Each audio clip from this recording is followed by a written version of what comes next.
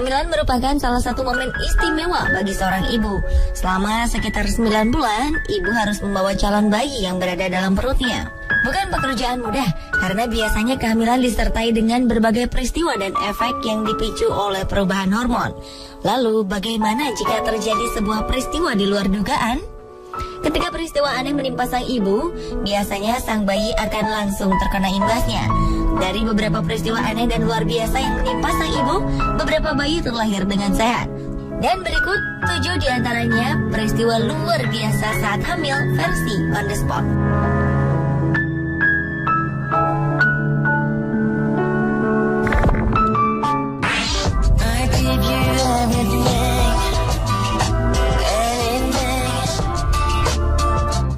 Bayi imut bernama Kimberly Gordon ini bukan dengan sengaja mengatur rambut anaknya agar tetap berdiri. Rambut jabrik ini terbentuk secara alami. Kejadian ini bermula ketika sang ibu bernama Kendra Villanueva tersambar petir ketika sedang mengandung bayi Kimberly. Pada 4 Juli 2013 lalu, Ian Gordon mengajak kekasihnya Kendra yang tengah hamil 38 minggu menonton pesta kembang api untuk merayakan hari kemerdekaan di Albuquerque, New Mexico. Tiba-tiba petir menyambar dan mengenai pasangan ini. Keduanya segera dilarikan ke rumah sakit New Mexico dan berhasil diselamatkan. Ujung ibu jari Villanueva terbakar. Ia juga harus diinduksi untuk melahirkan Kimberly atau dua minggu lebih cepat dari jadwal seharusnya. Bayi Kimberly selamat dari kematian, tetapi setelah setahun ia masih mengalami masalah pada perkembangan otak. Ia belum bisa duduk, merangkak, atau makan dengan baik. Kimberly masih harus menggunakan tabung alat bantu untuk mendapatkan makanan. Dokter belum bisa meyakinkan kapan Kimberly akan bisa berjalan dan makan dengan normal.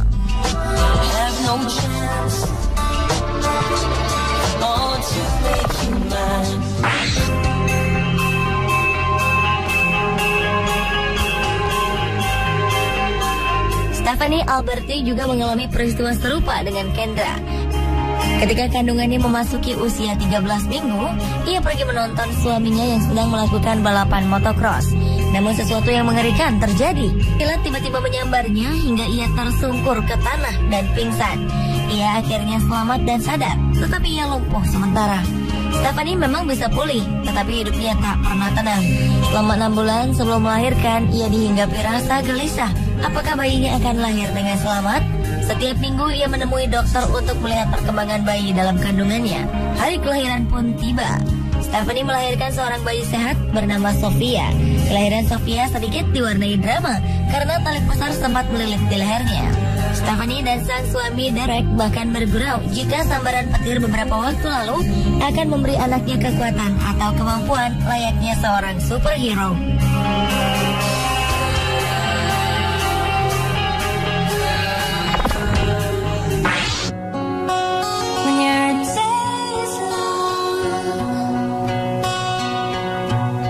Seorang ibu bernama Rachel Whitchurch menghadapi peristiwa menakjubkan ketika masih menjalani 28 pekan masa kehamilan, air ketubannya pecah.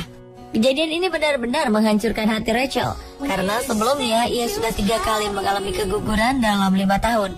Lima tahun sebelumnya ketika mengandung anak pertamanya, TJ, air ketubannya juga pecah ketika usia kandungannya memasuki minggu ke-35. Namun dokter mengatakan bahwa 28 minggu bisa menyebabkan komplikasi. Normalnya, hanya 5% perempuan yang mengalami kejadian seperti ini bisa mempertahankan bayinya selama 7 hari. Bertahan 10 hari saja akan menjadi suatu keajaiban. Ajaibnya, Rachel yang hanya bisa berbaring di tempat tidur rumah sakit berhasil mempertahankan bayinya hingga 39 hari. Dokter segera memutuskan untuk mengeluarkan sang jabang bayi.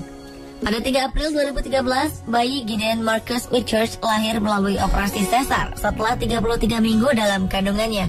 Ia harus dirawat di ruang intensif selama 5 minggu sebelum dikembalikan kepada keluarganya. Kini, Gideon telah tumbuh sehat dan normal.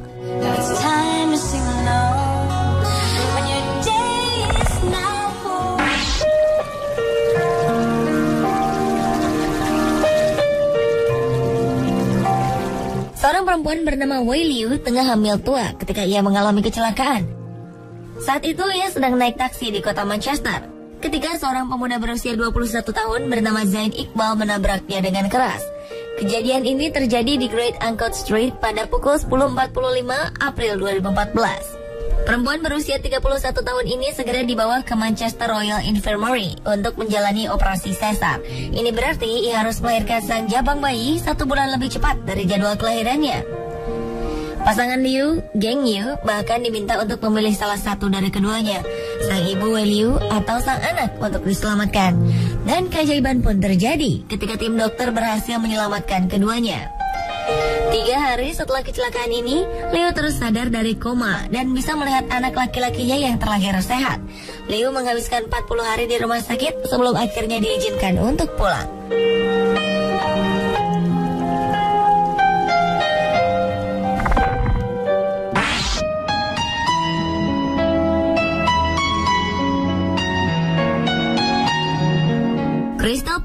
Adalah satu-satunya orang yang selamat dalam suatu kecelakaan yang merenggut nyawa saudara perempuan dan juga neneknya pada Agustus 2010 lalu. Crystal harus menerima kenyataan bahwa ia mengalami kelumpuhan. Tak hanya sampai di situ, ketika kecelakaan terjadi, ia tengah hamil dua bulan. Selama kehamilannya ini, ia harus menjalani operasi hingga empat kali. Crystal harus berjuang untuk menyelamatkan bayinya. Terlebih sekitar dua tahun sebelumnya, ia pernah keguguran. Hebatnya dalam kelumpuhannya ini, Crystal akhirnya melahirkan seorang bayi laki-laki sehat bernama TJ.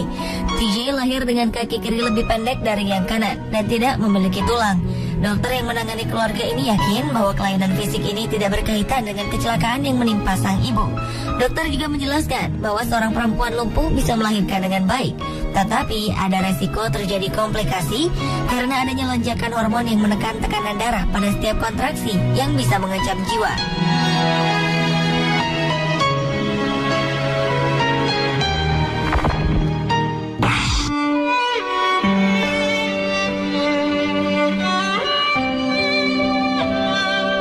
Ketika sebuah musibah menimpanya, seorang perempuan asal Hongaria ini sedang hamil 15 minggu. Ia tiba-tiba merasa tidak sehat ketika sedang berada di rumah. Rupanya ia mendapat stroke. Ia segera dibawa ke rumah sakit dan menjalani operasi untuk mengurangi tekanan darah ke otak. Tetapi dokter menyatakan jika otaknya sudah tidak berfungsi atau mati. Karena ada janin yang masih hidup dalam perutnya, tubuh sang ibu ditempatkan di ruang ventilasi agar sang bayi tetap hidup. Bayi berumur 15 minggu ini masih dalam kondisi sehat. Tim dokter bekerja secara kontinu menjaga sirkulasi dan keseimbangan hormon sang ibu agar tetap terjaga. Setelah berusia 20 minggu, keluarga perempuan ini memberikan nama pada sang janin.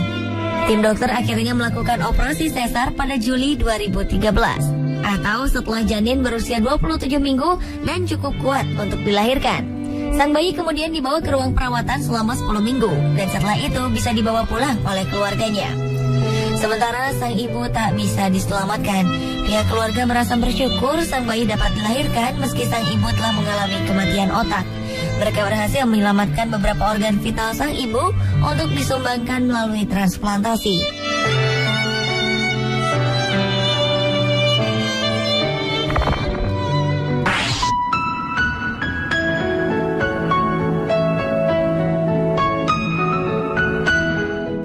2014 lalu dalam perjalanan ke rumah sakit untuk melahirkan, perempuan asal Tiongkok berusia 40 tahun ini mengalami kecelakaan yang merenggut nyawanya.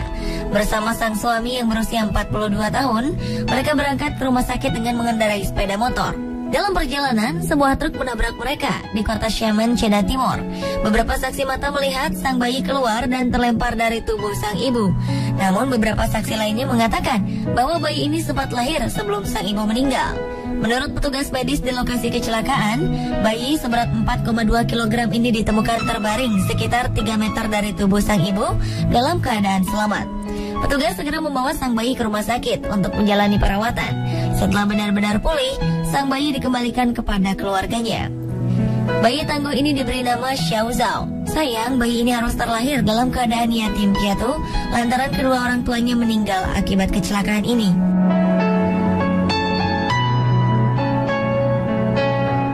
Pemirsa, inilah ketujuh peristiwa luar biasa yang terjadi saat kehamilan versi on the spot.